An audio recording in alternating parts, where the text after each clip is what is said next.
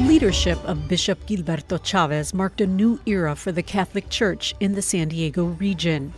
His loving service had a profound impact on Hispanic ministry at the diocese, as well as on the Hispanic faithful themselves. Despite retiring in 2007, the bishop remained a revered presence. Sister Gloria Galvan worked alongside Bishop Chavez for decades. She remembers the early years.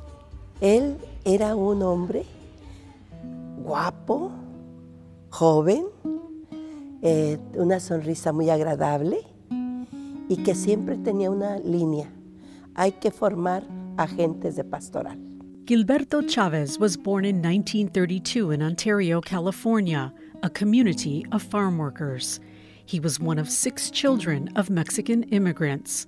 The family worked hard to continue their Catholic faith as they built a life in this country. He decided to become a priest after graduating from Catholic high school. He entered the seminary in San Diego and was ordained in 1960.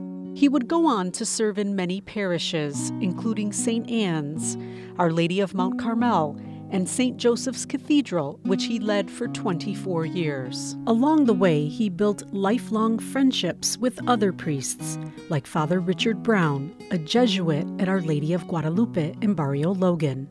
He was down on the people's level. Now, the people loved him. The people loved him very much.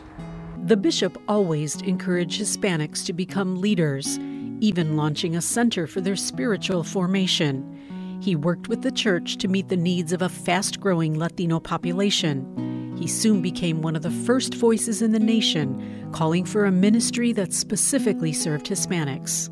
In 1974, Pope Paul VI named him auxiliary bishop in San Diego, only the second Hispanic bishop in the country.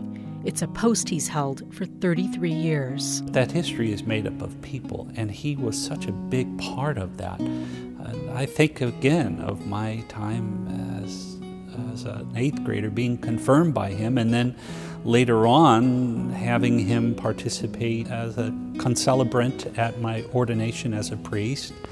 And then, in a very big way, most recently in my consecration as bishop.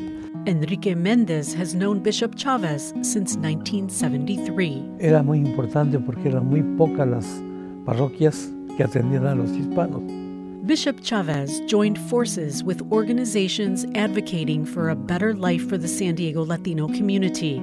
He even led the way when they marched with Cesar Chavez from San Ysidro to San Diego in support of the farm workers. Though retired, Bishop Chavez remains active still attending community events and supporting his friends. He was always willing to give a helping hand. He was always uh, ready to give either a positive word, an encouraging word.